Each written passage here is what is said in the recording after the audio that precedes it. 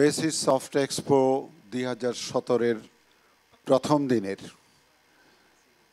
এই স্থানের সর্বশেষ সেমিনার আমরা শুরু করতে যাচ্ছি। আপনারা জানেন যে আমরা সকালবেলা এটি চমৎকার উদ্বোধনী অনুষ্ঠানের মধ্য দিয়ে সফট এক্সপো দুই হাজার সতেরো শুরু করতে সক্ষম হয়েছি। এরই মধ্যে আমাদের বিকেলবেলা বেশ কয়েকটি সেমিনার হয়ে গেছে। সেমিনারগুলোর চমৎকার অভিজ্ঞতা আমাদেরকে সমৃদ্ধ করেছে। আজকে আমরা অত্যন্ত গুরুত্বপূর্ণ একটা বিষয় নিয়ে কথা বলছি এবং সেই বিষয়টি হচ্ছে সকল নাগরিকের জন্য শিক্ষার ব্যবস্থা করা এবং আমরা ইংরেজিতে এটাকে এভাবে বলছি education for every citizen building a digital platform for education and learning নিঃসন্দেহে এটি একটি অতি প্রয়োজনীয় বিষয় যে বিষয়টি নিয়ে আমাদের এখানে আলোচনা করার জন্য মঞ্চে উপস্থিত আছেন খুবই প্রিয় কয়েকজন মানুষ আমাদের কিনোট স্পিকার হিসেবে এসছেন founder chairman and CEO of দাসারান Mrs Suren নলওয়ান welcome to this seminar on behalf of BASIS. Definitely, I will be uh, really grateful because you have come along to attend this seminar. আমাদের এখানে আরও আছেন Anis Chowdhury, policy adviser A two I, আমার খুব প্রিয় মানুষ, যে কজন প্রিয় মানুষ আছে তার মধ্যে আনির একজন। আমার বাম পাশে আরও একজন প্রিয় মানুষ বসে বসে আছেন, তিনি হচ্ছেন মনির হাসান। মনিরের কোন ডেজিগনেশনের কথা বলব, এটা আমার একটু দ্বিধা হচ্ছে। এখানে লেখা আছে যেটা, সেটা হচ্ছে দৈনিক প্রথম আলোর ইয়ুথ গ্রুপের কোঅর্ডিনেটর। কিন্তু এটা বোধহয় আমি সবচেয়ে কম চিনি। মনিরকে অন্য কারণে অনেক বেশি চিনি। বিডিও, সেনেটের সাধারণ সম্পাদক কিংবা গণিত অলিম্পিয়াডের আয়োজক এই এই রকম বহুদা বিশেষণ দিয়ে তাকে আখ্যায়িত করা যেতে পারে এবং আমাদের পাইম তানবির আছেন, আমাদের বেসিস স্ট্যান্ডিং কমিটির আহ্বায়ক। সো আমরা আলোচনাটা বাংলাতেই করব, কিন্তু আমাদের কিনোটটা আমরা সোরেনের কাছ থেকে পাব। তো সেই দিক থেকে আমাদের প্রশ্নোত্তরের প্রশ্ন যদি থাকে, ইংরেজি, বাংলা মিক্স করে আমরা আলোচনায় অংশ নিতে পারব। এবং আমার ধারণা যে যদি কখনো প্রয়োজন হয়, তখন সুরেনকে ব্রিফ করার দায়িত্বটা আমিই পালন করব।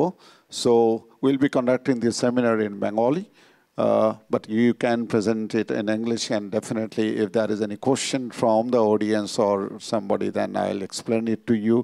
That can be in English, that can be in Bengali and you can answer in English, there is no problem. So we can use both English and Bengali uh, together. এটা সত্যি সত্যি আমাদের জন্য একটু অঙ্ক করার বিষয় তিন মিলিয়ন মানুষ ছোট একটি দেশ, তার প্রতি ইঞ্চি মাটি এবং প্রত্যেকটি নাগরিককে যত সহজে শিক্ষায় নিয়ে যাওয়া যায়, একশো ষাট মিলিয়ন মানুষ এবং পঞ্চান্ন হাজার বর্গ মাইল এলাকা, এই পুরো এলাকাটাকে শিক্ষায় আনতে আমাদের সত্যি সত্যি বড় ধরনের চ্যালেঞ্জ হয়।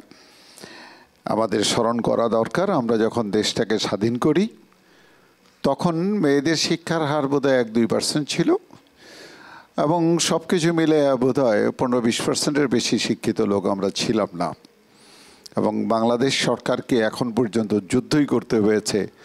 আগে ছেলে মেয়েদেরকে স্কুল দাও, তাদেরকে টেবিল চেয়ার, বেঞ্চি দাও, তাদের জন্য মাস্টারের ব্যবস্থা করো এবং সেই কারণে সরকারকে এমপিওভুক্ত না করলেও স্কুল টিকিয়ে রাখাও সম্ভব হয়ে যায় না। প্রাইমারি স্কুলটা জাতীয়করণ করে গিয়েছিলেন বঙ্গবন্ধু, সম্ভবত সেই কারণে প্রাইমারি স্কুলগুলো টিকে আছে এবং প্রাইমারি শিক্ষায় আমরা দারুণ রকমের সফলতা অর্জন করতে পেরেছি।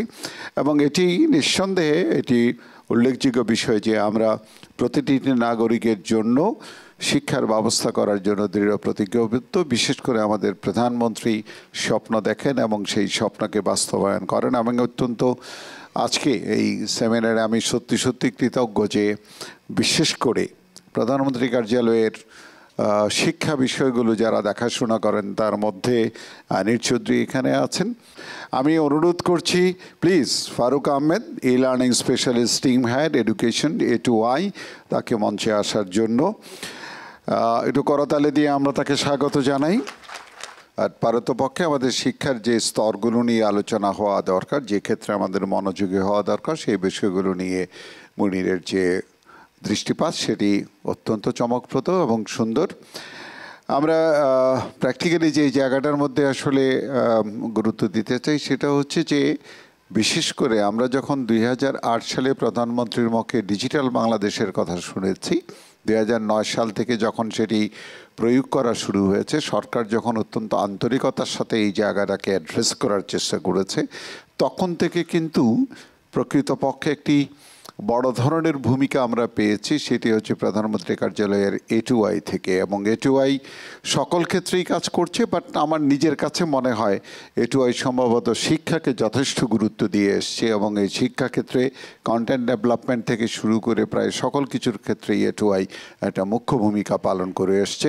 কোনো কোনো ক্ষেত্রে তো আমার কাছে মনে হয় শিক্ষা মন্ত্রণালয় কিংবা প্রাথমিক শিক্ষা মন্ত্রণালয় যেসব বিষয় নিয়ে চিন্তা ভাবনাও করে না এটুআই সম্ভবত সেই জায়গাগুলোতেও প্রতিফলন করছে। সেই দিক থেকে আমি যেটা বলব যে, প্রকৃতপক্ষে আমরা কিনোট থেকে যে বিষয়টির দিকে দেখেছি, সেটি হচ্ছে যে, ছোট জনগোষ্ঠীকে শিক্ষা দেওয়ার জন্য তাদের প্রচেষ্টার পাশাপাশি প্রযুক্তি ব্যবহারের একটা বড় ধরনের প্রচেষ্টার কথা আমরা শুনে এসেছি। এবং এটা আমাদের জন্য একটা বড় চ্যালেঞ্জ যে, প্রযুক্তি ব্যবহার করে আমরা শিক্ষাকে কতটা সামনে নিয়ে যেতে পারি। বিশেষ করে একটি শব্দের সাথে আজকে নতুন পরিচিত হইলাম। গেমিফাইড অর্থাৎ শিক্ষাকে গেমিফাইড করা এটি একটি বিষয় হতে পারে।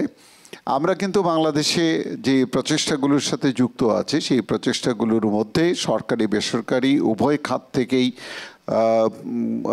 একেবারে প্রযুক্তি ব্যবহার করার বাইরে আছি, এটি বোধহয় বলা সম্ভব হবে না।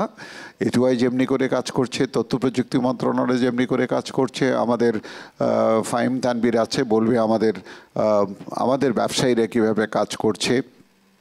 আমরা, আমি নিজে কাজ করছি দীর্ঘদিন যাবৎ, অন্তত দুই হাজার সাল থেকে গত সতেরো বছর যাবৎ। বিশেষ করে শিক্ষাকে ডিজিটাল রূপান্তরে প্রযুক্তি ব্যবহার করার ক্ষেত্রে কীভাবে করা যেতে পারে এবং আরেকটি বিষয় যে আর্মেনিয়ান ভদ্রলোক বললেন গেমিফাই কেমন করে করা যেতে পারে, সেই চেষ্টাটাও আমরা করছি। অর্থাৎ গেম খেলতে খেলতে শিক্ষা গ্রহণ করা যেতে পারে। আনির চৌধুরী আমার অত্যন্ত দীর্ঘদিনের পরিচিত এবং আমার একটা বিষয় মনে আছে।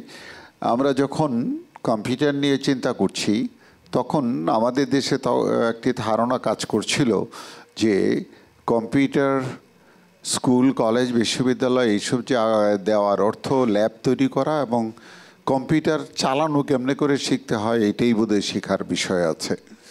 এবং এই জায়গাটার মধ্যে আমি অবশ্য অন্য কারণে পরিচিত ছিলাম, কারণ আমি ঢাকার আমেরিকান ইন্টারন্যাশনাল স্কুলের সাথে যুক্ত ছিলাম। একটা হার্ডওয়্যার ভেন্ডার হিসেবে, কারণ তারা তখন ম্যাকেন্টস কম্পিউটার ইউজ করতো আমি ম্যাকেন্টস বিক্রি করতাম ম্যাকেন্টস সাপোর্ট দিতাম। ওদের এখানে গিয়ে প্রথম দেখি যে ক্লাসরুমে কম্পিউটার যেতে পারে। এবং আমি প্রথম আমেরিকা থেকে বাচ্চাদের জন্য সফটওয়্যার এনে আমার ছেলেকে যখন ওই সফটওয়্যার দিয়ে পড়ালাম, দেখলাম কোচিং ছাড়া ও গ্রিন হেরাল্ড স্কুলে ভর্তি হয়ে গেল এবং তালিকার শীর্ষস্থান দখল করে বসে থাকল। তখন আমার কাছে মনে হয়েছে যে লেখাপড়ার ভিন্ন অর্থ আছে এবং কম্পিউটারকে লেখাপড়ার টুলস হিসেবে ব্যবহার করা যেতে পারে। আমি প্রথম দেখলাম, আমরা যখন ওই প্রক্রিয়ার মধ্যে কাজ করি, আনির হচ্ছে একমাত্র লোক যার কাছে আবার এই ধারণার একটি পূর্ণ সমর্থন পেয়েছিল যে জাফর ভাই কেবল কম্পিউটার শেখার বিষয় না, কম্পিউটার ক্লাসরুমের একটি হাতিয়ার এবং কম্পিউটার ক্লাসরুমের হাতিয়ার হিসেবে কী পরিমাণ সফল হতে পারে সেই জায়গাটার দিকে আমরা দৃষ্টি দিতে পারি। আমি নিশ্চিত আমার ধারণা যে আসলে সরকারের মধ্যে কম্পিউটারকে শিক্ষার উপকরণ হিসেবে ব্যবহার করার যে নীতিগত পরিবর্তন, তার মধ্যে আনিরের যথেষ্ট অবদান আছে। সামগ্রিকভাবে ফারুক ভাই সহ যারাই এটুআইতে কাজ করছেন, তারা অন্তত সরকারকে এই দৃষ্টিভঙ্গিটা দিতে সক্ষম হচ্ছেন যে প্রচলিত চক ডাস্টার এবং খাতা কলম বইয়ের যে শিক্ষা আছে তার বাইরে বোধহয় আমাদের এগিয়ে আসার দরকার। ফাইম যথার্থ বলেছে, আমাদের মতন দেশে আসলে টেকনোলজি বেশি দরকার। তার কারণ হচ্ছে, আমার ফিজিক্যাল ফ্যাসিলিটিস সেই পরিমাণ গড়ে তোলা সম্ভব না যে পরিমাণ আমার প্রয়োজন আছে। অর্থাৎ প্রযুক্তি দিয়ে আমি আমার ওই গ্যাপটা পূরণ করব, এটাই হচ্ছে স্বাভাবিক বিষয়। আমরা একটা প্রায় পুরো প্রেক্ষিত জানতে পারলাম যে প্রধানমন্ত্রী কার্যালয়ের এটুআই কেমন করে শিক্ষার সাথে সম্পৃক্ত হচ্ছে, চিন্তাভাবনা কি ছিল, কি হয়েছে এবং কি করতে চাই? আমার ধারণা যে এটি আমাদেরকে অনেক সহায়তা করবে, বিশেষ করে আমরা যারা ইন্ডাস্ট্রিতে আছি, আমাদের জন্য একটা দিক নির্দেশন হিসেবে কাজ করবে। কারণ আমরাও আসলে বুঝতে চাই, শিক্ষায় আমরা বেসরকারি খাতের পক্ষ থেকে তথ্য প্রযুক্তি খাতের পক্ষ থেকে কীভাবে অংশগ্রহণ করতে পারি।